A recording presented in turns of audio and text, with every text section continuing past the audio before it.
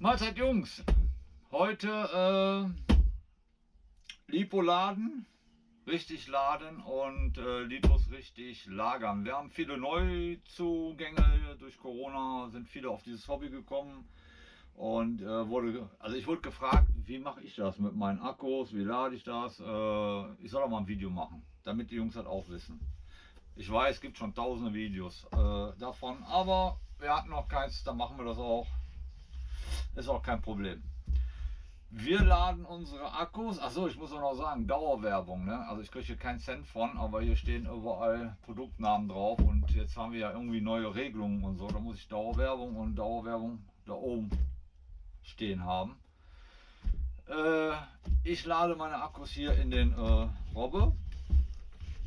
Hier werden alle meine Akkus drin geladen. Das hat einen Grund. Äh, Lipos neigen dazu, also am gefälligsten sind die, wenn die geladen werden. Das ist einfach so, wenn die am Ladegerät sind, ist die größte Gefahr, dass euch die Dinger hochgehen.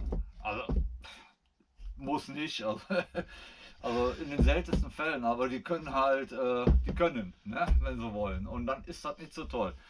Wenn ihr gerade einkaufen seid und die Dinger am Laden seid oder seid gerade nicht da, dann äh, fackelt euch die Bude ab. Äh, deshalb gibt es hier diesen Safe äh, Ladekoffer von äh, Robbe. Sehr gute Sache. Die, ha die haben auch einen Filter drin, äh, wegen der Rauchentwicklung. Weil die qualmen ziemlich stark und das sind giftige Gase.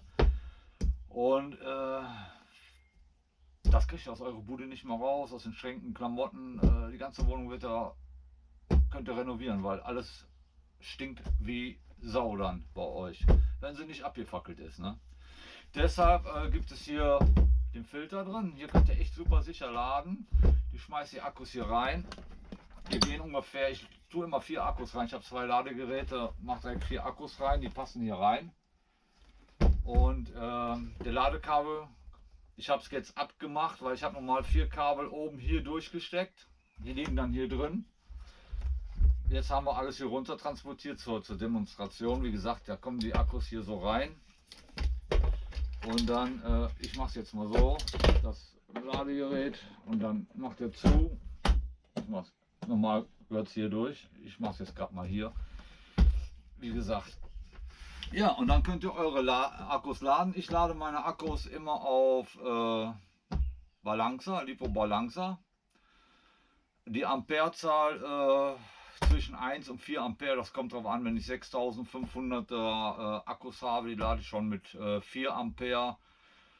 Und äh, wenn die Akkus schwächer sind, 3000er oder so, dann lade ich mit 1,5 Ampere. 5000er lade ich auch noch mit 4 Ampere. Man sagt, um, umso weniger, wenn du so mit 1 Ampere lädst, die Akkus umso langlebiger sind. Da ist, ist die Sache, aber dann wartet es ja auch 10 Stunden, bis die Akkus voll sind. Deshalb, also ich lade meine meistens, äh, wenn die ab 5000 mA alle mit äh, 4 Ampere. Hab da noch nie Probleme gehabt. Wie gesagt, in dieser Kiste, wichtig. Und äh, ja, nach dem Fahren, wenn wir die Akkus leer gesaugt haben, kommen die wieder ans Ladegerät, wieder in diese Kiste rein und dann wird gestrongert. Das heißt, die Akkus werden in Ruhestand gebracht. Und zwar müssen die äh, 3,8 Volt haben, dann haben die circa noch 35% Kapazität. Da werden die so gesehen in den Schlaf gelegt. Man nennt das Stronger. Und äh, da können die sich nicht selbst entzünden. Das ist so, wenn ihr Akkus vollgeladen in den Schrank tut, das ist nicht gut. Da besteht die Möglichkeit, dass die sich selbst entzünden, wenn die voll sind. Äh, deshalb gibt es hier diesen Stronger. Das ist so, dann könnt ihr die ein halbes Jahr wegpacken. Äh, das ist überhaupt kein Thema. Die sind dann ja, im Winterschlaf, sage ich mal. Das solltet ihr nach jeder Fahrt auf jeden Fall machen. Nach, nach dem Fahren, zack, stronger machen. Hier in der Kiste. Und danach kommen wir jetzt weiter, wenn die, äh, tut die, ja lagern. Dann kommen die raus, ich habe stronger gemacht. Klemmen wir gerade alles wieder ab.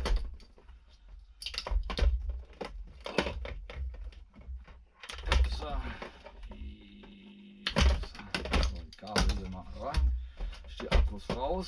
So, dann tue ich die Akkus nicht in die Kiste, weil da habe ich einen extra. Dann kommen meine Akkus alles in so ein Safeback rein.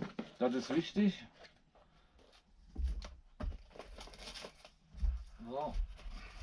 Und so. Die Kabel können ruhig raushängen, das ist überhaupt kein Thema. Das sieht dann so aus. Dann habt ihr die hier im Safeback. So, jetzt sind die gestrongert. Jetzt kann eigentlich nichts passieren, weil die im Schlafmodus sind. Es kann immer, ne? ich will mich jetzt hier nur ein bisschen rückversichern und nicht einer sagt, oh, da kann das auch passieren. In den meisten Fällen aber nicht. Wir haben jetzt 35% Leistung drauf, 3,8 hat jede Zelle. Das ist eigentlich eine super Ruhe, da schlafen die. Da haben wir hier das. Dann empfehle ich dazu noch diesen Koffer von HRC. Das ist ein feuerfester, wie ihr seht, Lipo Firecase ist das. Ein ziemlich großer Koffer. Der ist ziemlich gut mit Schaumstoff äh, ausgefüllt. Das ist feuerfester Schaumstoff. Da kann man dann das reintun, dann ist man doppelt abgesichert. Dann kann wirklich eigentlich nichts mehr passieren. Auch wenn das jetzt da drin hochgeht, ist es ja im Case und nochmal in den Koffer. Und ja, da ist das super geschützt da dürfte nichts passieren. Ne? Ich habe jetzt von ARC, ich habe hier von mehrere Kisten, weil wir haben natürlich mehrere Akkus, ist klar. Aber äh, man kann natürlich auch äh, andere Sachen nehmen, äh, feuerfeste Kisten. Man muss jetzt nicht unbedingt die hier nehmen. Also das ist, äh, es gibt ja viel diese, äh, diese Militärmetallkisten, die ihr aufmacht. Da könnt ihr es auch reinlegen und zumachen. Ne? Wichtig ist, dass es halt von feuerfest ist, dass euch die Bude nicht abfackelt. Ich habe halt von der AC die Kisten, die waren 30 Euro bei Modell Baumetz und habe ich die geholt und ähm, da haben wir drei, vier Stück von geholt. Das ist perfekt, kommen da rein, stapel die übereinander und äh, fertig ist. Tja, so lade ich meine Akkus, äh, so lagere ich meine Akkus und äh, ich denke, das dürfte so nichts passieren. Ne? Nur ein Tipp, tut die Akkus nie bei euch irgendwo im Schreibtisch oder Regal reinlegen. Und äh, ich kenne Leute, die machen ihre Akkus nach dem Fahren, legen einfach ein Regal und lassen die drin liegen.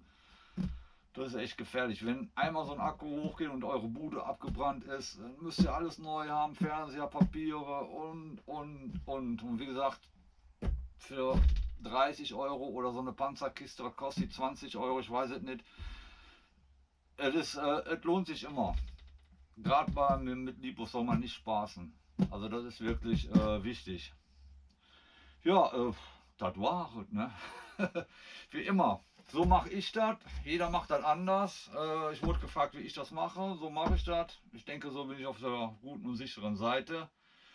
Und ich würde sagen, Jungs, bleibt gesund, wie immer. Und bis zum nächsten Video. Ne? Daumen hoch und Glocke abonnieren. Tschüss, Jungs.